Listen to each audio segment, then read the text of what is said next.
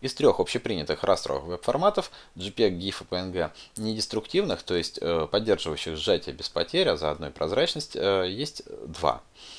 Э, древний GIF, созданный в 87 и доработанный в 89 году, и чуть менее древний PNG. Его представили в 96 году. Поговорим о них, а потом посмотрим, что на почве недеструктивного сжатия смогут сделать современные форматы. Начнем с GIF. Этот формат использует сжатие по алгоритму LZV. В этом алгоритме э, хорошо. То, что вам удалось закодировать им, будет сжато без потерь. Э, по современным меркам кодирование и декодирование производится довольно быстро. А вот что в этом алгоритме плохо? Он работает по строкам, что существенно ограничивает его способности находить избыточность.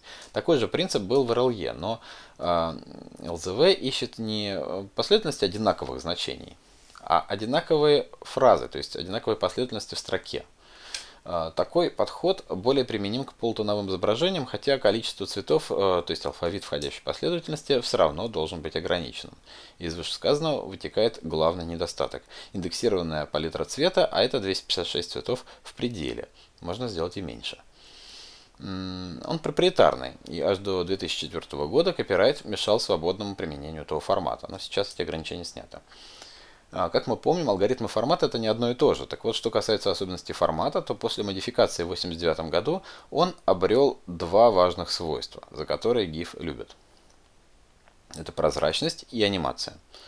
А, прозрачность весьма урезанная, только один цвет из 256 может быть объявлен прозрачным. Полноценного альфа-канала не предусмотрено, да и какой там э, канал, если все изображение записывается в 256 цветов, и то это максимум.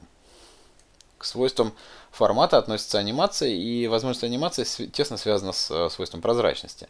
А, анимированное изображение записывается э, разницей, только изменение относительно предыдущего кадра. При этом каждый кадр может иметь разную продолжительность.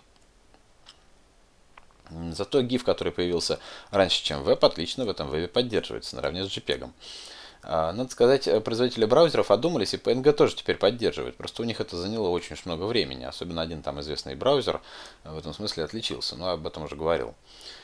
Теперь про PNG. Изначально его разработала Макромедиа, и у них получилось сделать формат открытым, так как э, использовался никем не закопирайченный алгоритм Deflate.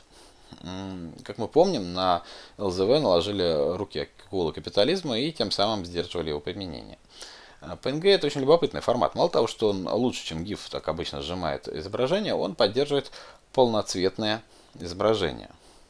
Изначально он э, использовался в программе Macromedia Fireworks в качестве оригинального, то есть внутреннего формата. Программа эта была для э, подготовки графики для веб-страниц, и прямо в этот файл можно было записать разметку на слайсы, ссылки и прочие подробности. А зато с анимацией у PNG все не так однозначно. Изначально этот формат создавался исключительно для графики. Потом они одумались, но уже было поздно. В итоге есть аж целых два формата. Это расширение формата до APNG и отдельный, весьма сложный, судя по отзывам, формат MNG. А, возможно, в этом был смысл, но я открываю в хроме тестовые страницы с разными форматами анимации, там APNG признаков жизни не подает. Это лично для меня плохой знак, э, с GIF таких приключений не бывает. Вернемся к возможностям э, формата, а потом посмотрим, как это работает. Итак, он открытый и бесплатный. Глубина цвета 16 бит, то есть можно хранить не только изображение для э, просмотра, но и исходники фотографий. При этом существует три режима. Grayscale, индекс от 8 бит, то есть э, это как в GIF, он называется PNG 8, и полноцветный PNG 24. Про цветовое пространство не подумали, про CMYK там забыли, и из-за этого в полиграфии формат неприменим. Анимация вроде бы поддерживается, но я уже говорил как. Э, браузеры ее не очень поддерживают.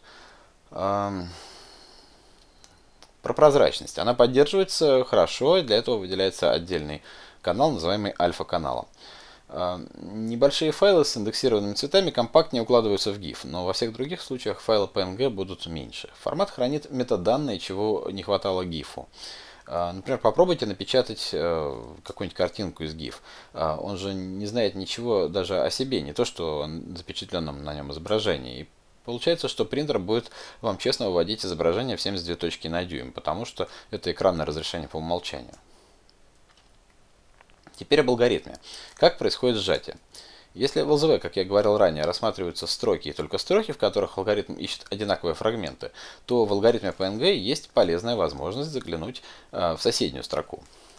Как это работает, хорошо показано на э, сайте студии Лебедева. Процитирую метров. Правда, они э, начали с того, что в сравнении с GIF э, практически описали не ЛЗВ, а RLE, но э, с PNG, надеюсь, они ничего не напутали.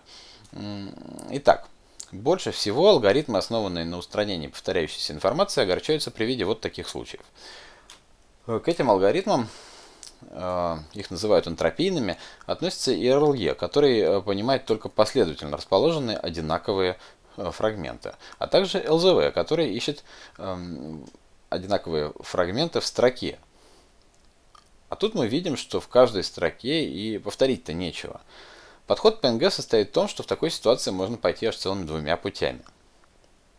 Первое – это посмотреть вверх и сказать кодировщику «повтори».